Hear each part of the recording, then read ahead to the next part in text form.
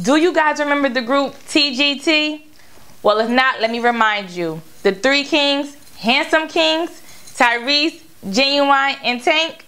Well, guess what? They're over. Yes, Tyrese took to social media and posted the group is no longer.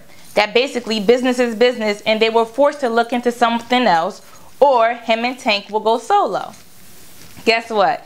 Ginuwine was not here for the shade. He came back to Tyrese hardcore, quote unquote, and said this. Wow, really to post personal biz, ish is a P move.